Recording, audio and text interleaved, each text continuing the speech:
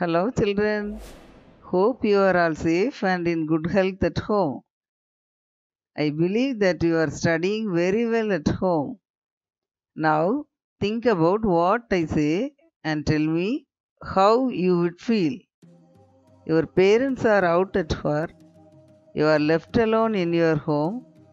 You hear some noise from behind the house. Nobody is there. How do you feel and what would you do? Similarly, in this poem, the listener, the poet has created the exact sensation. Now, let's see a few things about the poet. This poem was written by Walter de la Mare, who was born on April 25, 1873 in England. He was a British poet and novelist with an unusual power to evoke the ghostly, fading moments in life. Let's learn some new words from the poem now. Champed, bitten, chewed upon noisily. Ferny, consisting of flowerless plants. Turret, a small tower that projects from the wall of a building. Smote, knocked loudly. Sill, a horizontal piece of timber beneath a window or a door. Perplexed, confused, thronging, crowding, hearkening, listening attentively. Additional meanings descended, come down, phantom, a ghost, dwelt, to stay, stirred, to mix. Now I will read the poem lines and explain in Tamil. Is there anybody there? said the traveller, knocking on the moonlit door, and his horse in the silence champed the grasses of the forest's ferny floor, and a bird flew up out of the turret above the traveller's head. And he smote upon the door again a second time. Is there anybody there? he said. But no one descended to the traveller. No head from the leaf fringed sill leaned over and looked into his grey eyes, where he stood perplexed and still.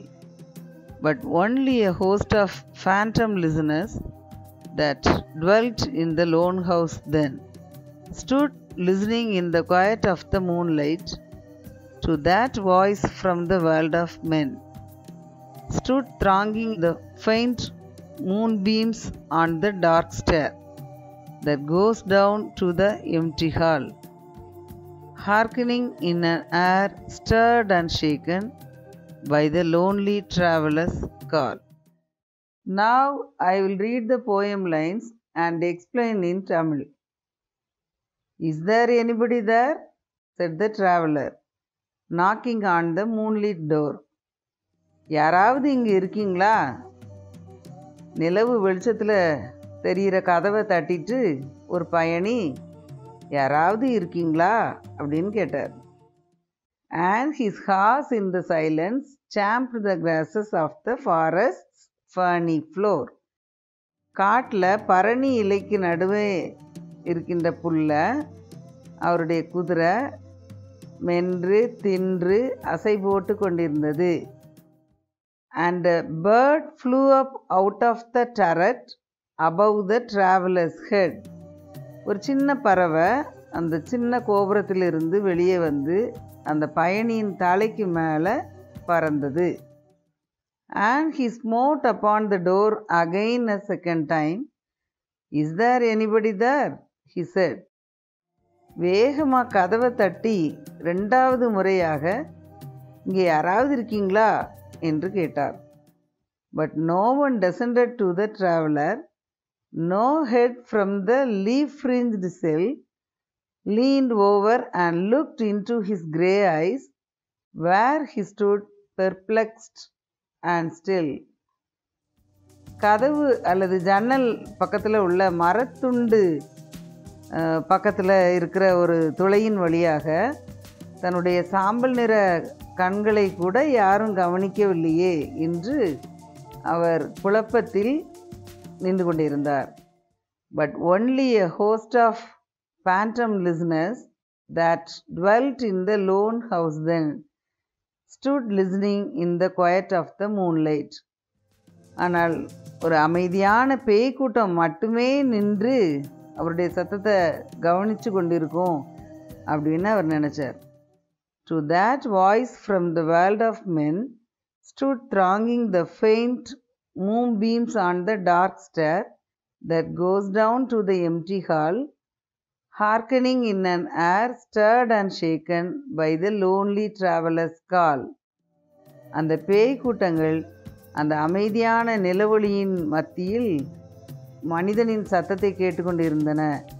காலியான நீண்ட பொது அறையில் அந்த பயணியினுடைய அழைப்பால் காற்றின் சத்தத்தில் வலுவான உணர்வை தூண்டினபடியே அப்படியே அதிர்ந்து போய் நின்றன. This is a memory poem so please learn this by heart now try and draw a mind map similar to the drawing shown Thank you, students. We will meet again in the next class. Stay home. Stay safe, children.